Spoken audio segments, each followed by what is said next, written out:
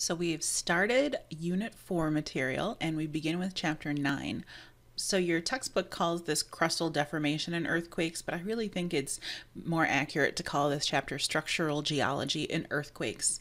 So this first lecture will focus on structural geology, then you'll have an activity, and then um, you will be learning about earthquakes afterwards you can definitely um, there is a huge overlap between these two topics though.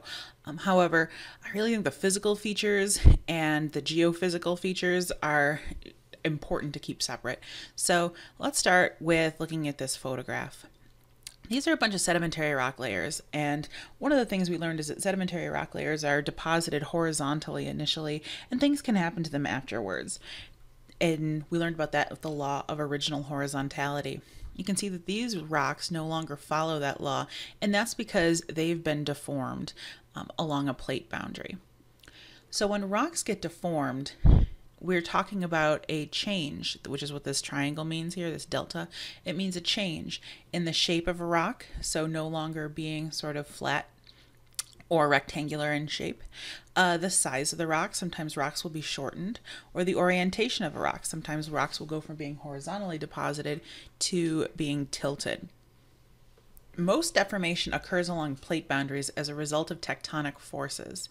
So that's actually what we're going to talk about next is what are some of the forces or stresses that cause um, rocks to deform. So all deformation results from stress applied to rocks. In the next in this slide, what you're going to see is changes to an undeformed cube of rock, which you see down here, and then here you see some undeformed strata or rock layers. We're going to talk about the different types of stresses that can be uh, applied to rocks and how they typically respond. The first type of stress that can be applied to rock is called a compressional stress. Compressional stress is the squeezing of rocks, which is what you see here. So our undeformed cube of rock was squished, and you can see that it gets a little taller, and it goes from being a cube to be sort of a rectangle. Um, but the force that's being exerted here is a squeezing, where both sides are being compressed inward that has different impacts on the undeformed strata.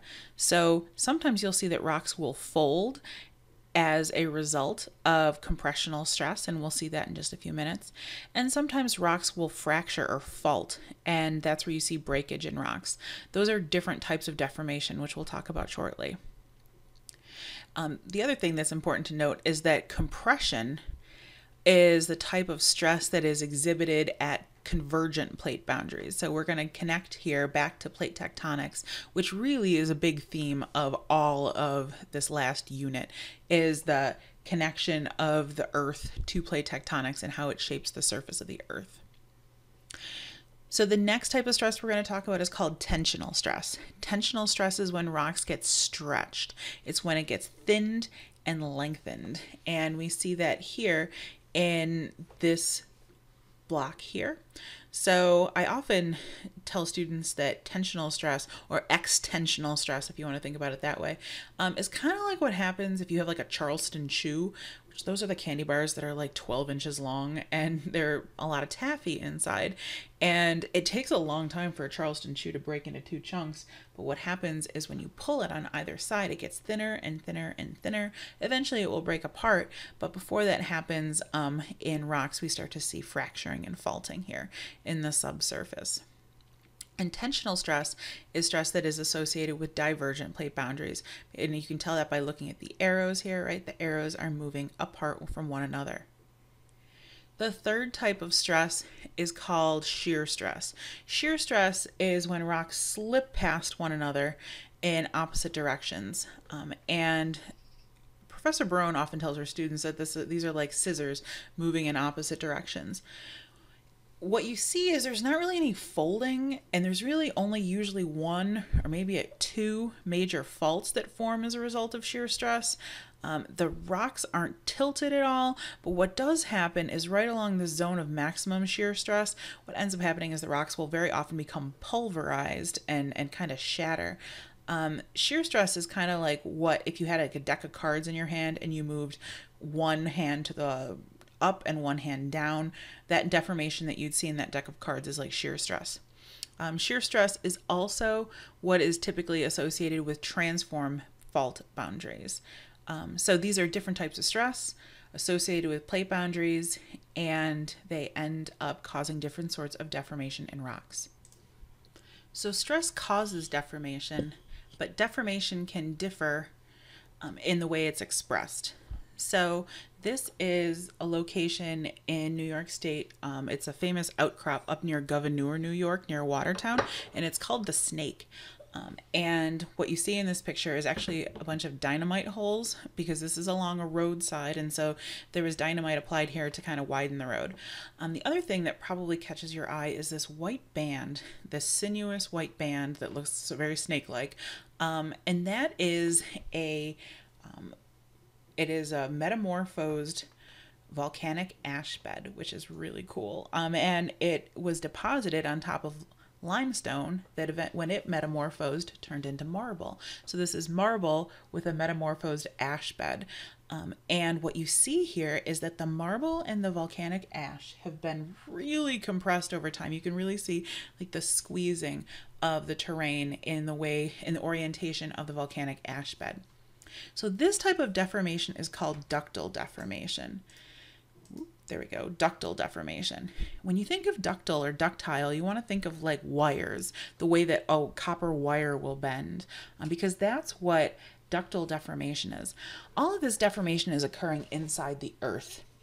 And what's happening is that rocks inside the earth are warmer and they're also under some pressure. And so when they are squeezed, rocks will actually flow over very long periods of time. They behave almost like liquids over long periods of time. And so they show, they demonstrate flow very much like you might expect a liquid to.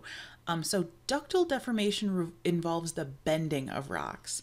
Um, and the opposite of that is brittle deformation. This is actually just a little bit down the road from the snake.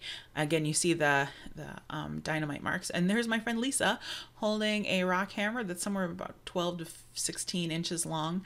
Um, and here's that beautiful white marble which you can actually see the flow structure in really nicely. And then this is a basaltic dike. And this basalt you can just see broke apart into chunks. And this part here that Lisa's holding her rock hammer near used to fit really nicely in the corner right here. Um, so brittle deformation is not when rocks are bending like this like this marble is, but when rocks are breaking apart like this basalt is. So rocks will break apart, they'll also fault. Um, and so those are examples of brittle deformation. There are different things that can cause rocks to either deform ductily or brittly.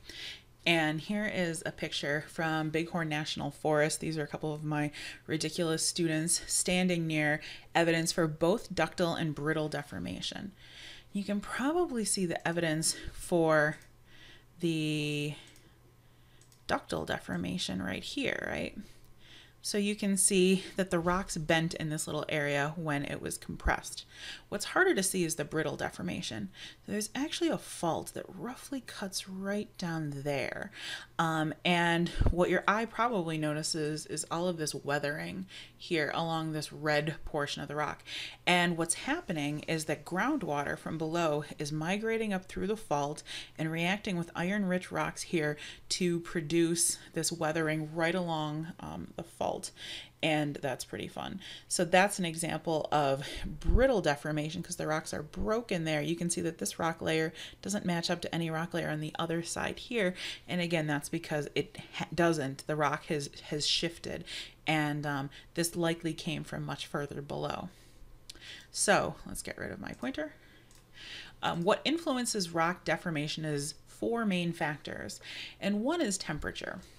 So is Think about this in terms of like candle wax. When candle wax gets warm, it's more likely to flow. And when that candle wax cools off, it's more likely to break. So when temperature goes up, rocks are more likely to exhibit ductile deformation or bend. And when rocks are cold, they tend to break or exhibit brittle deformation. So directly related to temperature is confining pressure. That is the pressure of all the overlying rocks on a particular rock layer. So as the pressure goes up, the temperature also goes up. And again, so when pressure goes up, rocks are more likely to bend. When the pressure starts to drop, they are more likely to break.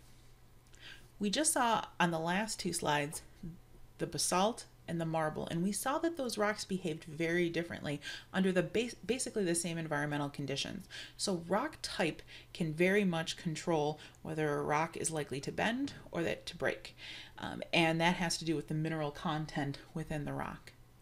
And the last thing is time.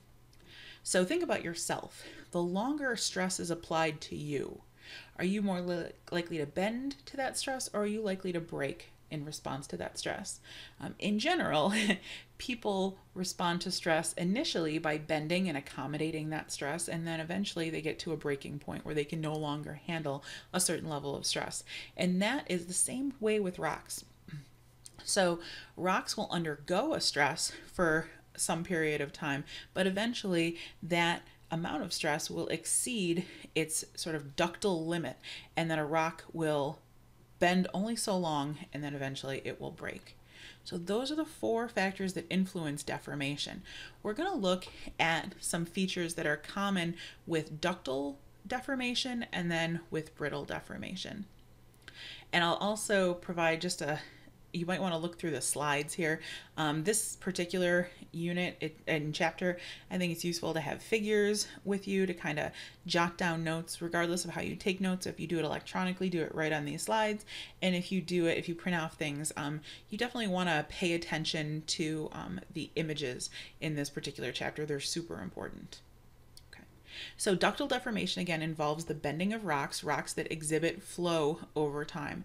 And that's what you see in this picture.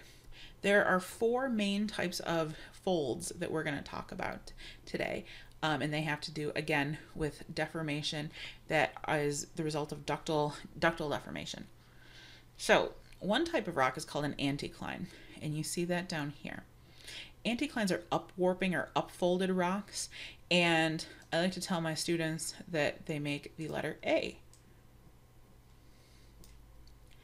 A for anticline. This is the result of compressional stress. So if you can kind of imagine a piece of paper, in fact, if you take a piece of paper in your hand and you push that piece of paper together, it will naturally form anticlines and what are called synclines, which are downfolds in rocks. Um, and so here is a syncline that you see here. And the syncline, I like to tell my students, makes a smile. Yay.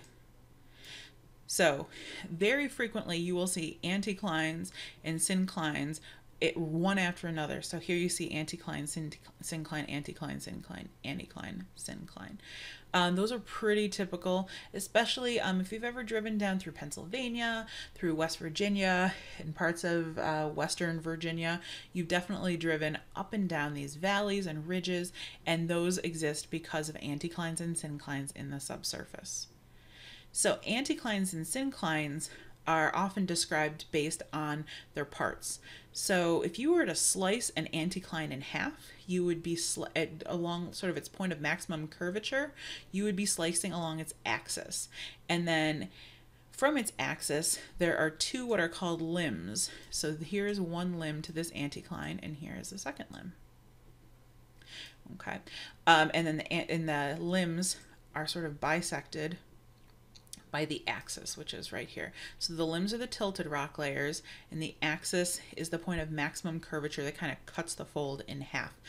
Um, and when we look at anticlines, anticlines are oriented in such a way that the limbs dip away from the axis. So when I talk about dip, I like to, in my head, imagine that I pour a glass of water, for instance, on this yellow rock layer, and that water is going to flow away from the axis because it just kind of flows down. It's dipping or tilted away from the axis. Same thing on this side. Um, this yellow rock layer is also dipping away from the axis. So again, imagine pouring yourself a glass of water here and watching that water flow away from the axis. Synclines are the opposite, right? So if you have a syncline like this, and then here's your land surface, let's say. Um, here would be your axis right through here. So there's your axis, and here your limbs are tilted toward your axis, right? because if we were to pour a glass of water right here, it would flow down those rock layers and toward the axis or the point of maximum curvature. So that's exciting. Um, here is a picture of some anticlines and synclines. So take a minute, find the anticline, find the syncline. So let's start with the anticline.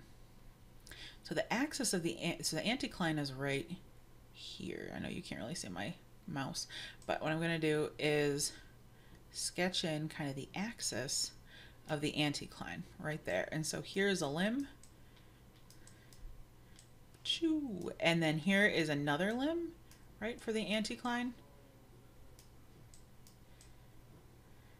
So that's cool. Um, and then the syncline, the axis of the syncline is right here, right? Because you see the syncline. Whoops, I got a little, a little off course there. It should have gone this way. Um, so you can see the smile of the syncline, right? So what you'll notice is that the limb of this syncline is also the limb of the adjacent anticline here. So here's your axis and here's your limb, and then here is your second limb. Anticlines and synclines always have two limbs. Good stuff. So there's two more folds we have to talk about for ductile deformation. Oh, but first I have to show you this sweet, sweet fold. Um, this is right along the Pennsylvania-Maryland border, and we actually, I actually took this picture uh, when Barone and I got lost once. We were driving back. We got quite lost indeed, um, driving across Pennsylvania, and um, all of the routes kind of converged in one city. Um, and Barone was really mad at me because she was looking at me and she was pretty sure we were lost and I was pretty sure we were lost. I knew where we were. Um, but she, we needed to get someplace fast and we were not able to. Um, but then I was saved because we found this super sweet syncline. So if you look here, sometimes students have a hard time identifying this, but here is the syncline that the road kind of cuts right through. It's really sweet. So there's two other folds. This one is called a dome. Um, so a dome, if we just look at the subsurface, it kind of looks like an anticline, right? Because you have upwarped rocks. But then you look on the surface, and what you see is that the rocks on the surface form this circular outcrop pattern. So you probably see these little T symbols all over the place. These are actually called strike and dip dip symbols. And the dip indicates the direction that the rocks are tilted. If you look around at these strike and dip symbols, what you'll see is that in all cases, the rocks are dipping away from the center of this circular feature. And what that tells us is that in all directions around this central point, rocks are dipping away. So what that means is you have the most uplifted part in the center, and then you have rocks that are dipping away from the center in all directions. So this structure is called a dome. Um, you can think of like the Carrier Dome or like the cap the Capitol um, the Capitol building in Washington D.C. is like a dome. Um, where again it's high in the middle and lower on the sides. And you can see that when you look at the rock layers, the oldest rock here, when we look at the rock layers that are exposed in cross section, the oldest rocks are exposed in the center and the youngest rocks are exposed sort of on the flanks.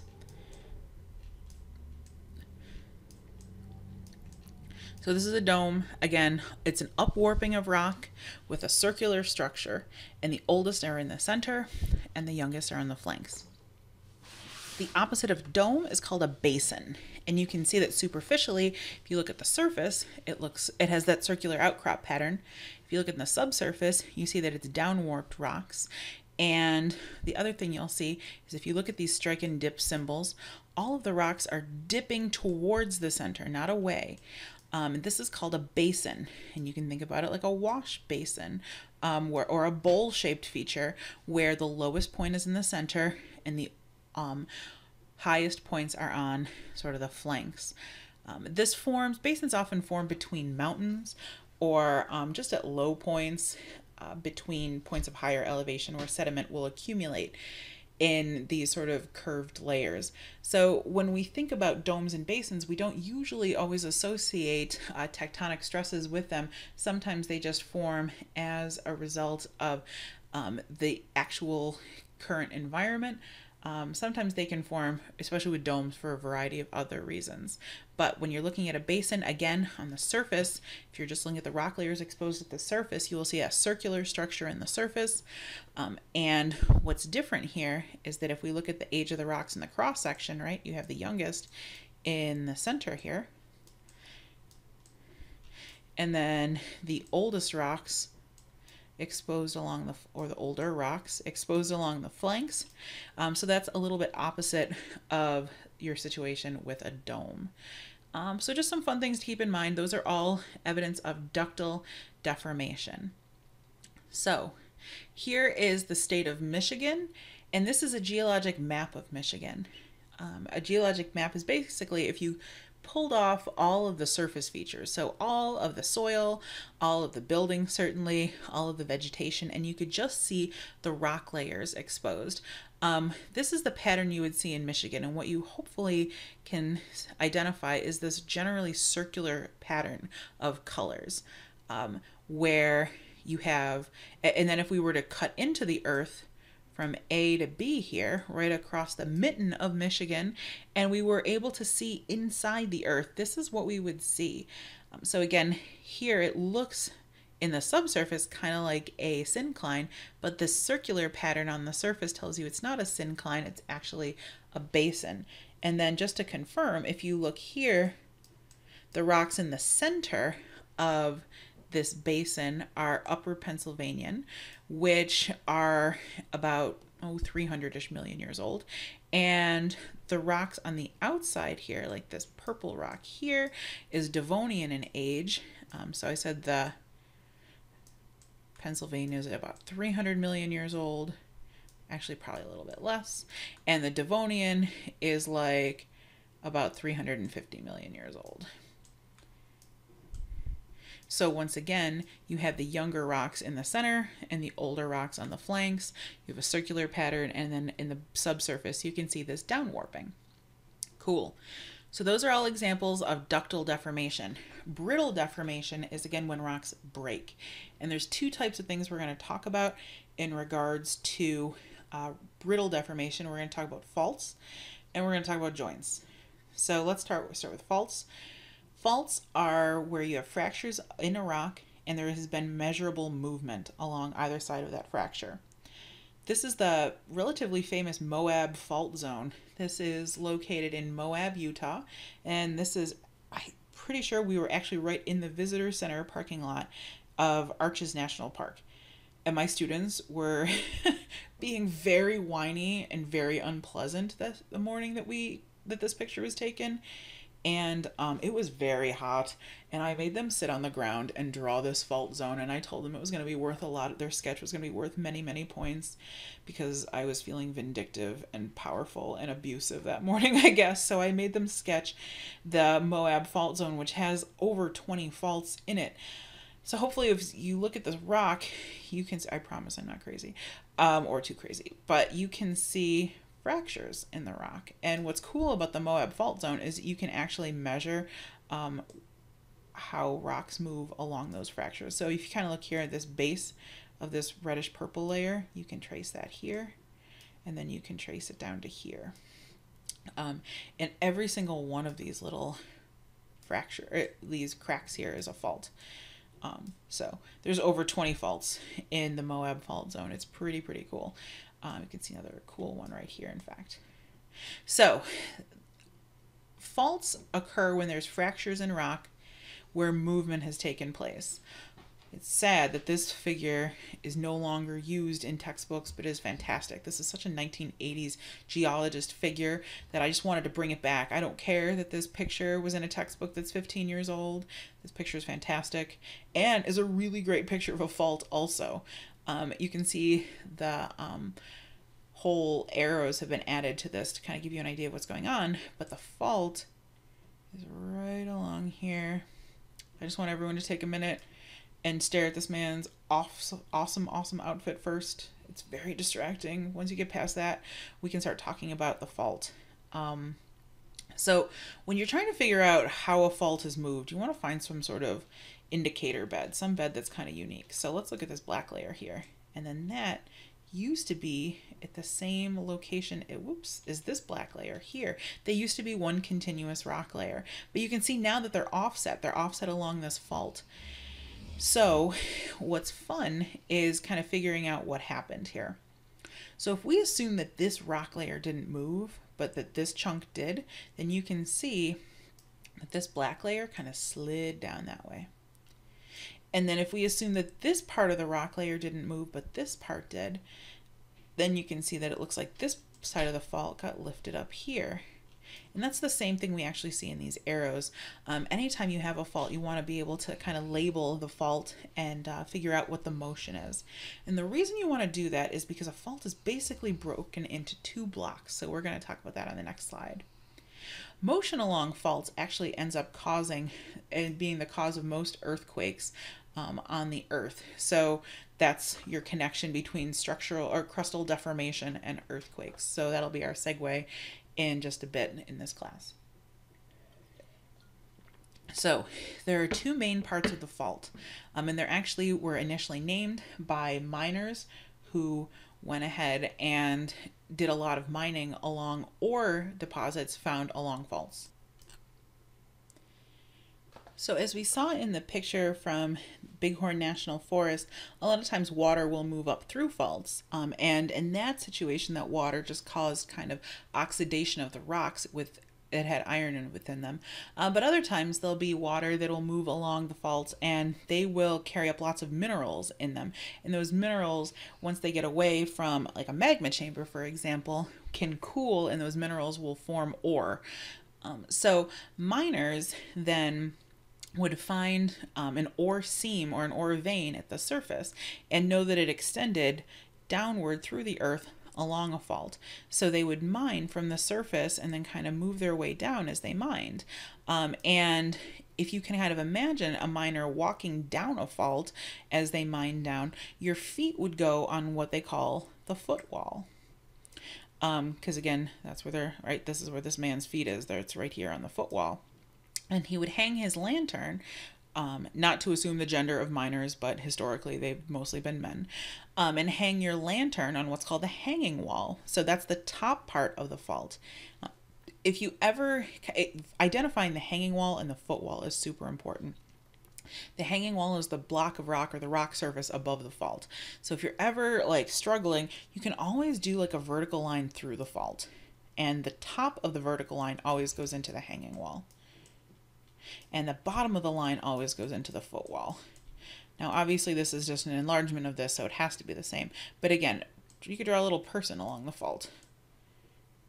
Their feet are on the footwall, and the top, their head, would be near the hanging wall. So the footwall is the rock surface below the fault. Um, so the reason that it's so important is that the behavior of the hanging wall tells you what type of fault it is, and that gives you a clue as to what sort of tectonic stress you're looking at also. So back to my old favorite, this picture. So here we have, again, our sweet, sweet fault. Right down there. And I got a little wavy in here, but it's relatively straight. Um, take a minute See if you can identify the hanging wall. So, again, draw your vertical line. The top of the vertical line goes through the hanging wall. The bottom goes through the footwall. And again, if you were a little miner hiking down the fault, you would put your feet on the footwall and your head would be on the hanging wall. Um, so again, this is the motion along the fault, right? Where in this situation, the hanging wall is sliding down and the footwall is moving up. And this is called a normal fault.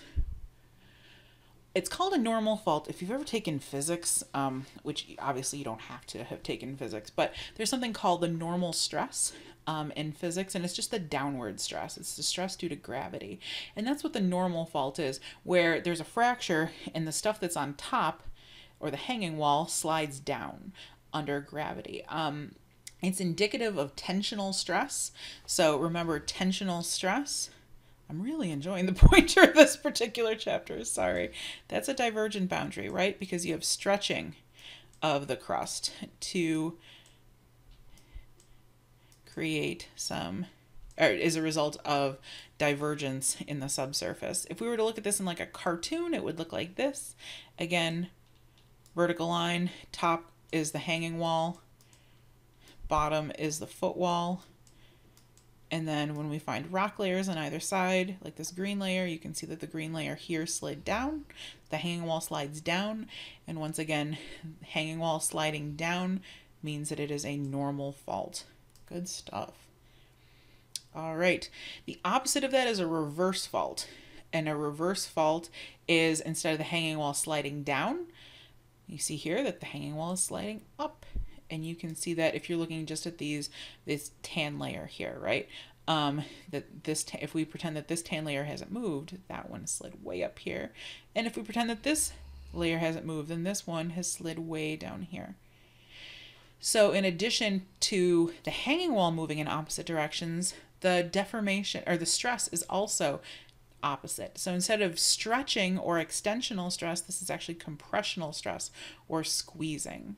Um, and compressional stress or squeezing is, as you can see with the arrows here and here, as the result of a convergent boundary where rock layers are smashing together. Sweet. All right, and our last type of fault is actually called a strike slip fault. Ooh, and all the text popped right up here. um, so here is the most famous strike slip fault in the land, and that is the San Andreas Fault, which cuts right through Southern California right here. Um, it's associated with shear stress, which again is when rocks are, the fault is actually vertical here, so there is no hanging wall or footwall, um, but they're moving in opposite directions. Um, and the San Andreas fault is an example of what's called a right lateral strike slip fault. So imagine that you're here and you're looking across the fault to something here. And then there's an earthquake um, that, let's say you're looking at a rock, because why wouldn't you be, or a tree. During an earthquake, you see that this whole block is going to shift to the right. So what'll ha- uh, is going to shift at least in this direction. So what'll happen is that tree that you're staring at in an earthquake might move so that it's here. So for you, looking across the fault, it looks like that tree moved to the right. So that's why it's called a right lateral strike slip fault. It doesn't actually matter um, what side of the fault you're standing on. So let's say you're looking here at a happy little tree over here. And there's an earthquake. So you can see from the arrow that it's going to shift in this general direction. Do, do, do, do, do. So there's our happy little tree after the earthquake. If you're standing here, and you're looking across the fault, it looks like to you, got to twist your head here to kind of change your orientation. It looks to you like the tree once again moved to the right. So that's why this is called a right lateral strike slip fault. Alternatively, um, you can have left lateral strike slip faults. It really is just a function of what the plates are doing. So speaking of plates, shear stress is associated with transform fault boundaries. So that is the type of plate boundary that strike slip faults are typically associated with. We will learn much more about the San Andreas Fault when we get to the part of the chapter that discusses earthquakes. Here's kind of a cartoon of a strike slip fault, and once again you can see the fault here. And there's a couple features that are often associated with strike slip faults. One of them is what's called offset drainage. So this stream flows down this slope, right? And then it hits the um, hits the fault. And Rocks along these faults get pulverized because of the grinding motion as the rocks are kind of pulled in opposite directions. And so what'll happen is that you'll often have low-lying areas right along what's called the fault trace where the fault intersects the surface. And so streams will change direction and flow directly in the fault pretty much just because the um, rocks are pulverized and it can scoop the rocks out and erode them very easily because this is often a low-lying area, water will often accumulate there and form what are called sag ponds. Sag ponds are just low-lying areas that accumulate with water along strike slip faults. The San Andreas Fault is actually part of a much larger fault system. So the west coast of the United States is kind of crazy because this over here is a divergent plate boundary where we have a mid-ocean ridge. But then here where you see the teeth, That is a convergent plate boundary, and that ends up creating like Mount St. Helens and Mount Rainier right in through here with the Cascade volcanoes. Then down through Mount St. Helens, or not Mount St. Helens, down the San Andreas Fault, you can see that's where our transform fault boundary is. And that's enlarged right here where the, you can see the San Andreas Fault, while there is one main fault, there are also a series of other long, narrow faults, um, as well as faults that kind of cross the, these um, strike slip faults at about 90 degrees. Um, that has to do with the whole geologic history of the region, but the San Andreas fault system relatively complex. You can see that there's some faults that are really well known, like the Hayward fault is another example of a really well mapped um, strike slip fault along the San Andreas fault system um, but the uh, this portion up here is less well understood. San Andreas Fault System, of course, was part of the very famous movie uh, San Andreas. I'm pretty sure I have a link to the uh, so to the trailer here. One of the things about scientists is that in general we love slash hate bad science movies, and it is hard to get much worse than San Andreas. Um, this movie, so I want you to I'm going to point out some annoying things for me as we watch this.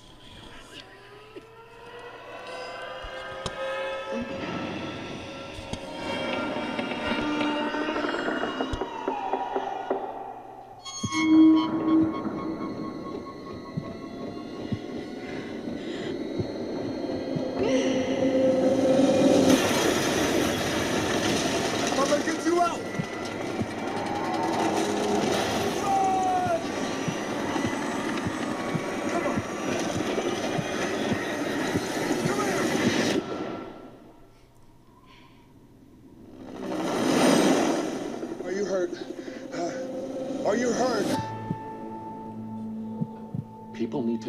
Shaking is not over. We'll get hit again. And it's going to be a bigger monster. This is crazy. This is divergence that you see in this video clip right here. Even though this is supposed to be a transform fault boundary. The Earth will literally crack open. That's also divergence, right? On the East Coast. And that is madness. Paul Giamatti used to have this great career I don't know what happened.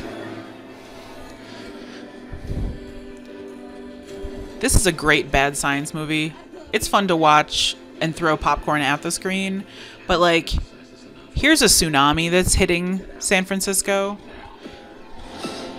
The Hoover Dam breaks. Like, there's a whole new plate that forms in this movie. Tsunamis are only associated with convergent plate boundaries. This is the scene where the rock in a boat goes up and over a tsunami wave, which is crazy and fake.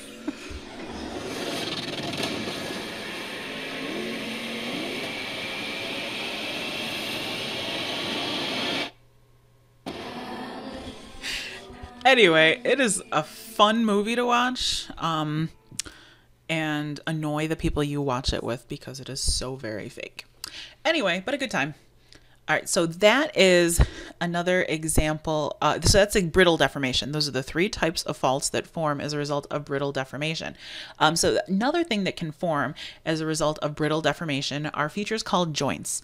Um, joints, this is actually a really cool picture of Devil's Postpile, which I've never been to, but soon, someday. Um, joints are when there are fractures in rocks, but there's no movement. That's the big difference between joints and faults. Joints, no movement. Faults, you have measurable movements. A lot of times you'll find joints in parallel groups like you do here, except that this actually formed from the cooling of a lava flow, and the lava flow twisted a little bit here, so these columnar joints are a little twisted. This is a picture from Letchworth State Park in New York State. Um, it's called the Grand Canyon of the East. Uh, it's not really the Grand Canyon of anything, but it's pretty cool. Um, if you look down at the shale layers here, you can actually see joints. So joints again are just when you have cracks in rocks, there's no real offset, but do you see like these straight lines here in the shale? Shale very often will break into these straight line fractures. Those are joints. I really need to stop with this pointer today. I apologize. Um, so that's one example of joint sets. Um, the reason people care about joint sets, like for example, the jointing that results in the creation of Bryce Canyon National Park in Utah, is that chemical weathering, because water will move along joints, there'll be a lot of chemical weathering along joints. So you certainly don't want to build a house on rocks with a whole lot of joints in the bedrock underneath because um, the bedrock will weather more quickly. We also care about them though because minerals can be found along joints. Because remember, water will, groundwater, which is full of minerals, can move along any crack in a rock. So a lot of times you'll have minerals that will form right within these joints, and then you can mine the minerals from those locations. Um, you can have arches that are created from joints. Specifically, arches are usually found in sandstone. These are pictures from Arches National Park, and we've talked about this a little bit before, but um, we talked about it with weathering. So, again, joints are locations where there will be weathering. So this is in that same fault zone that we started talking about faults with. Um, so you can have fractures in rock and it'll produce features like this eventually. So these are called fins. Fins are created when there's weathering along joints and it rounds out those joints. So it creates these long, narrow fins that kind of look like a dorsal fin on a dolphin or a shark, I guess. Um, and in Arches National Park, there's a soft rock underneath. That rock erodes away and the fin will begin to collapse, which will eventually open up into an arch then weathering will continue to occur mostly because of wind, but a little bit of water sometimes in this desert environment too. And eventually those arches will thin and over time can break. Um, so again, all of that occurred because of weathering along joints. Um, sometimes basalt will cool as a lava flow and will form what are called columnar joints um, because they form into these natural columns. These are some students in Yellowstone National Park. Um, several years ago now. So you can see sort of the scale of these columnar joints. This is a lava flow that's probably about 30 feet high or so. Um, this is Devil's Tower National Monument, which is 867 feet high. Um, this picture is very deceptive. I promise this student is not like 100 feet tall, um, but he is very tall. But you can see the columnar joints on Devil's Tower. That's also in Wyoming. Here are some of my students um, and actually, that's Professor Tierney if you take chemistry at all at MCC. And these are some of those columnar joints that have fallen down along the base of Devil's Tower right here. Um, so this is an old student, Mary, and that's Professor Tierney. And these are giant columns that have fallen from Devil's Tower. So you can see that the scale of them is much bigger than it was at Yellowstone. And that's because it's a bigger sort of lava flow. These are much smaller joints. These are found in Shenandoah National Park in Virginia. Um, here we have students who are sitting on some of those columnar joints, and you, you can see theirs are much smaller. This is a much smaller lava flow too. Um, so columnar joints are naturally, they naturally form as basalt cools, and it's kind of like a cookie in that these fractures form because everything is contracting down and the center of these columnar joints cools last. It's kind of like the gooey center of a of a chocolate chip cookie as it's cooking. And that's what is left behind. And that is what I want you to know about structural geology. So, to kind of summarize, we talked about deformation as being a change in the size, the shape, or the orientation of rocks. Deformation can occur when rocks bend, and that's called ductile deformation. And there are four folds that are associated with ductile deformation. Um, there is there are anticlines, synclines, domes, and basins. Uh, anticlines and synclines are important compressional folds. Um, domes and basins can occur because of a variety of um, tectonic stresses or just environment. So if rocks don't bend, rocks can break, and that's called brittle deformation. Um, and brittle deformation results in the creation of either faults or joints.